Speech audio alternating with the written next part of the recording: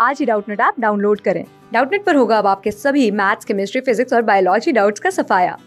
बस अपने क्वेश्चन की फ़ोटो खींचो, उसे क्रॉप करो और तुरंत वीडियो सोल्यूशन पाओ। Download now. Hello guys hello everyone. So question given है, complete the following reactions and write main product. आपको इसमें बताना है कि मेन प्रोडक्ट आपका क्या होगा और कंप्लीट रिएक्शन लिखनी है। सो so, यहाँ पर ये दिख रहा है C H three C O R और एन ए ओ एच है और आयोडीन दिया हुआ है ठीक है?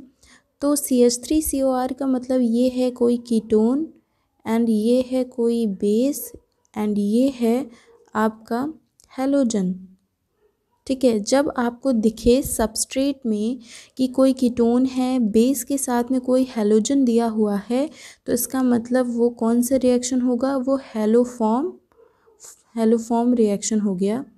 तो इसको अगर आयोडीन है तो हम इसको बोलेंगे आयोडोफॉर्म। क्या बोलेंगे?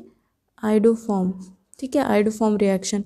इसके लिए क्या होता है? सबसे पहले मिथाइल कीटोन की ज़रूरत होती है। रिएक्टेंट में रिएक्टेंट में हमारे पास क्या होना चाहिए?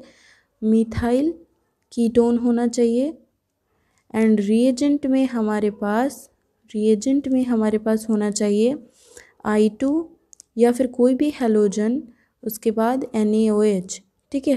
तो ये बेसिकली ऑक्सीडाइजिंग एजेंट के रूप में एक्ट करेगा और इसका जो रिएक्शन होगा वो होगा C H three C O R plus N A O H plus I two will give क्या देगा? ये देगा C H I three plus R C O O N A ठीक है?